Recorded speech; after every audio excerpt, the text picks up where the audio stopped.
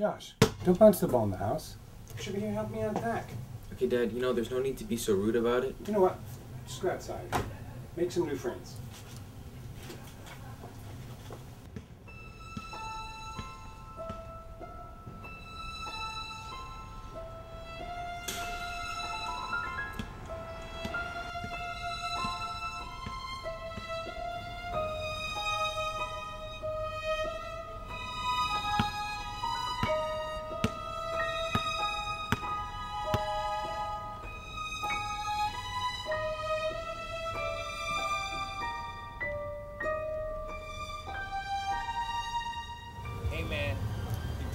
Go in there.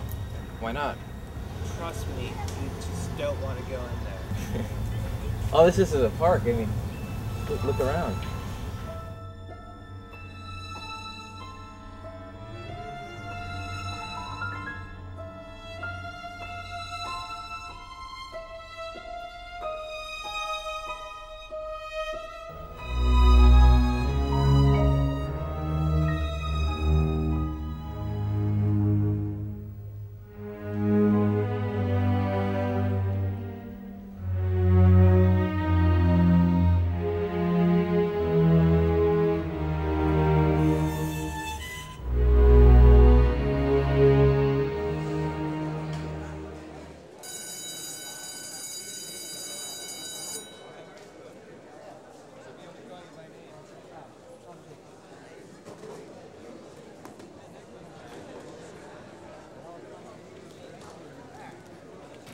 Hey, mind if I join you?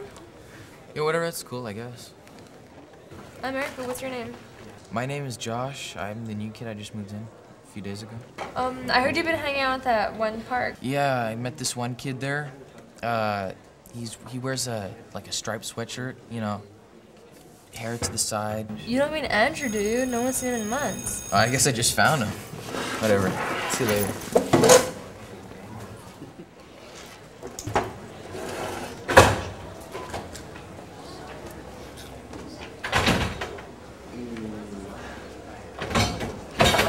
Boo!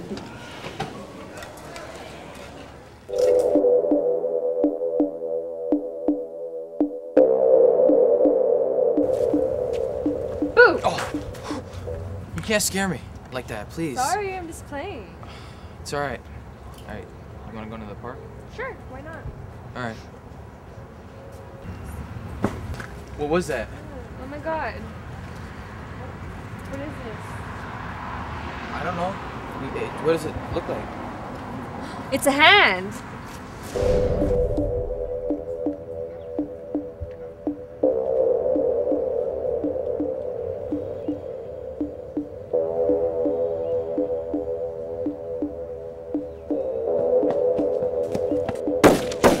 for jacking my money.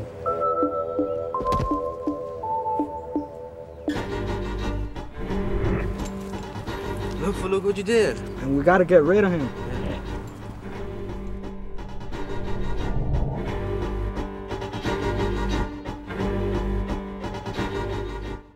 Mark Valentino, live here at Blythe Park, where Andrew Cleary, after two months of disappearance, was discovered in this shallow grave. Police are hot on the trail for his killers, working to make this a safer park. Reporting live at Blythe Park for Channel 4 News, Mark Valentino.